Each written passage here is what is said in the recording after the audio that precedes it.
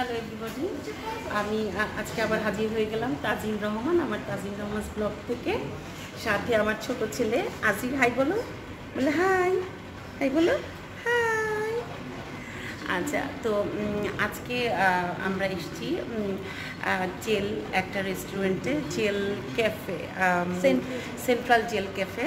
তো এখানে এসেছি আজকে আমরা একুশে ফেব্রুয়ারিতে আমি আমার ব্লগটি শুরু করার আগে আজকে একুশে ফেব্রুয়ারি আমাদের আন্তর্জাতিক ভাষা দিবস। তো এজন্য আমি আমাদের সমস্ত শহীদদের প্রতি শ্রদ্ধা জ্ঞাপন করছি। সেই সাথে শুরু করছি আমাদের আজকের ব্লগ। তো আজকে আমাদের ব্লগটা থাকছে সেন্ট্রাল জেল ক্যাফের উপরে। তো আসেন ভিউয়ার্স আমরা দেখি পুরো ক্যাফেটা, তারপরে এখানকার খাবার টেস্ট করব, আর সেই সাথে খাবারগুলো আপনাদের সাথে শেয়ার করব। থ্যাংক ইউ এই যে একটা রুম, এটা ওপেন স্পেস এখান থেকেই শুরু। ঢুকলেই এই রুমটা এখানে লেখা আছে আমি জেল থেকে বলছি। আর একটু সামনে আগালি একটা লোগো আছে, ওখানে ওদের নাম লেখা সেন্ট্রাল জেল ক্যাফে আর এদিকে একটা স্পেসের মতো আছে, ওখানে লেখা পালাবি কোথায়? আর উপরে দেখা গেছে যে একটা কনস্টেবল একটা গান হাতে দাঁড়িয়ে আছে। এভাবেই তারা এটাকে সাজিয়েছে। তো একটু এই সাইডে আসলে দেখা যায় যে আরেকটা রুম আছে, এখানে পাশাপাশি তিনটা কক্ষ আছে। এই প্রথমটা হচ্ছে সাতশো ছিয়াশি নাম্বার কক্ষ।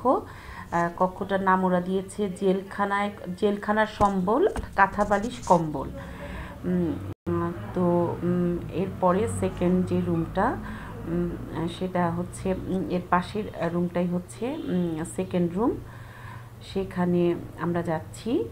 আমার সাথে দেখ, চলুন দেখুন। ওখানে রুমটার নাম দিয়েছে আইনের হাত, অনেক লম্বা। এটার রুম নাম্বার হচ্ছে, পাশে দেওয়া আছে, এইটা পুরাটা হচ্ছে একটা স্পেস। এই ওপেন স্পেসে ওদের চেয়ার টেবিল দেওয়া আছে, ওরা এখানে এখানে বসেও কেউ চাইলে খেতে পারে। আবার কক্ষগুলোর ভিতরেও ওরা খাবার নিয়ে খেতে পারে। তো যেখানে ছিলাম, এই রুমটার নাম হচ্ছে নাম্বার হচ্ছে শূন্য শূন্য সাত। এরপরের রুমটা হচ্ছে যে আরেকটা কক্ষ আছে সেটার নাম হচ্ছে যাহা বলিব সত্য বলিব, সত্য বই মিথ্যা বলিব না। এই কক্ষটাও সুন্দর। এটার নাম হচ্ছে এখানে যে ডেকো এটার নামটা আগে একটু দেখে নিই। এটার নাম, নাম্বারটা হচ্ছে চারশো বিশ।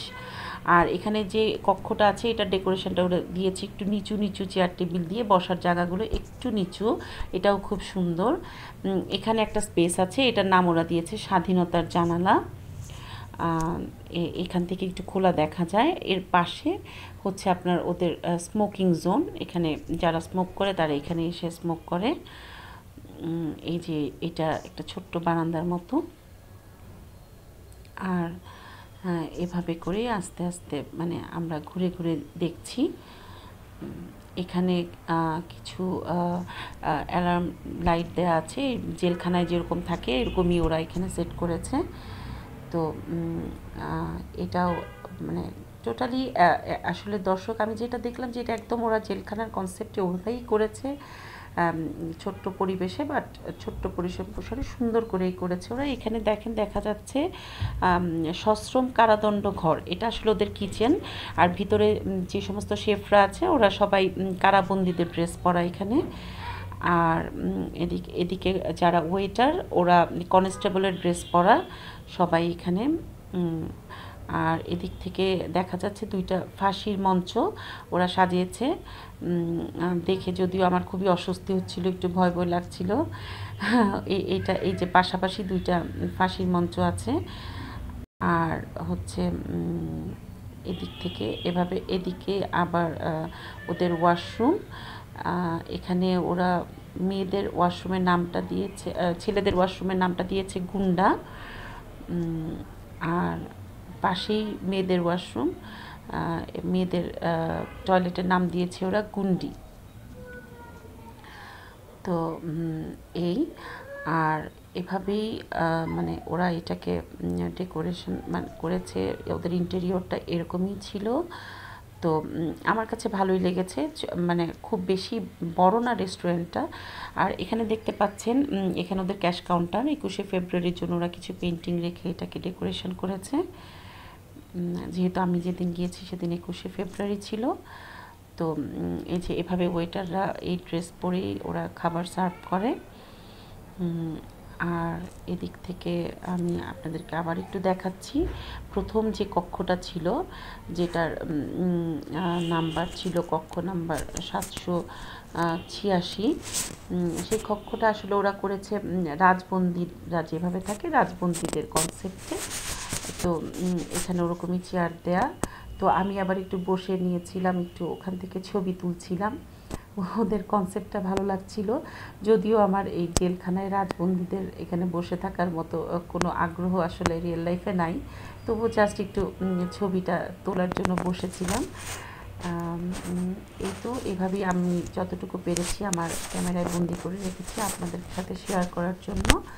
তো আশা করছি আপনাদের কাছে ভালোই লাগবে। তো চলুন আমি আস্তে আস্তে খাবারের দিকে যাই।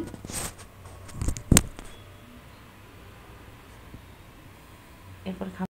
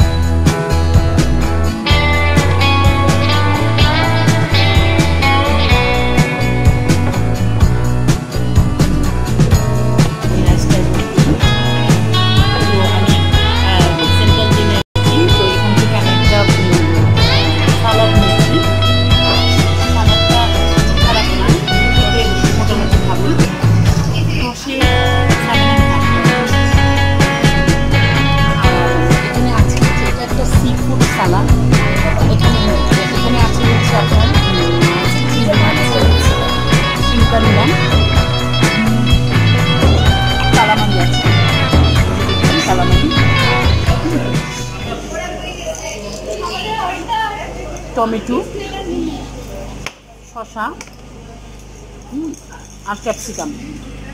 আর সাথে টক দই আছে। একটু শুকনা মরিচের গুঁড়া দিয়ে ওরা সম্ভবত এটা মেখে দিয়েছে। একটু সুইট সুইট একটু স্পাইসি স্পাইসি খেতে খুব একটা খারাপ না। আমি তো সালাদ খেয়ে নিলাম। বাট আমরা কিছু প্লেটার অর্ডার করেছি আপনাদের সাথে শেয়ার করার জন্য। কিন্তু আপনারা তো জানেন আমি রাইস খাব না। সো আজকে একজন নতুন মানুষের কাছে দিচ্ছি। দুজন নতুন মানুষের কাছে ইনফ্যাক্ট যারা আপনাদেরকে আজকে খেয়ে বলবে এগুলো সম্পর্কে। প্রথমে দিচ্ছি Ocean Grill Ocean Grill prawn platter এটা নিয়েছে আমার ভাস্তি। ও নর্সাতে পড়ছে। ওর নাম হচ্ছে রায়না। ও আপনাদেরকে এটা এক্সপ্লেন করবে। আরেকটা নিয়েছে হচ্ছে প্রন সিজলিং ওইটা নিয়েছে হচ্ছে আমার বড় ছেলে আরিশ। ও আপনাদের কাছে এক্সপ্লেন করবে ওটা কেমন লাগছে। সো চলুন ভিউয়ার্স দেখি ওরা কি এক্সপ্লেন করে আপনাদের সাথে ওদের খাবারগুলো। এখন আমরা রিভিউ করব আমাদের প্লেটারগুলোর ফার্স্টে আরিশ রিভিউ করবে। এটা হলো কি একটা চিকেন মিষ্টি ঝাল দুইটাই। ফ্রাইড রাইস আর আমার এখানে হচ্ছে ফ্রাইড পটেটো আর এখানে হচ্ছে একটা শ্রিম্প আর কিছু সালাদ আর হচ্ছে ফ্রাইড রাইস আমরা এখন খেয়ে দেবো রাইট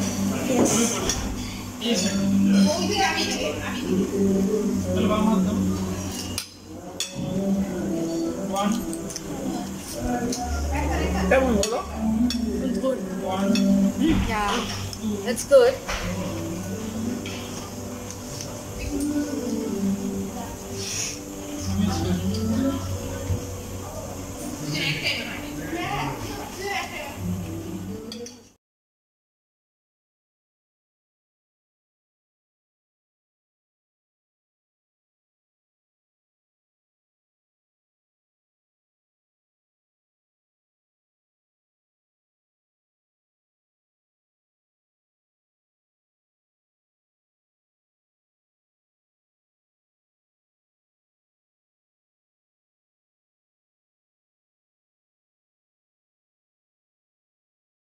এখন যাবার পালা। ভালোই লেগেছে আমার কাছে। পরিবেশটা সুন্দর। খুব বেশি পরিসরে না রেস্টুরেন্টটা খুব বেশি বড় না। কিন্তু যতটুকুই আছে কনসেপ্টটা ওদের একটু ডিফারেন্ট ওরা গুছিয়ে রেখেছে। সুন্দর। খারাপ লাগেনি আমার কাছে। ভালোই লেগেছে। খাবারের মানও খুব একটা খারাপ ছিল না। ভালোই ছিল।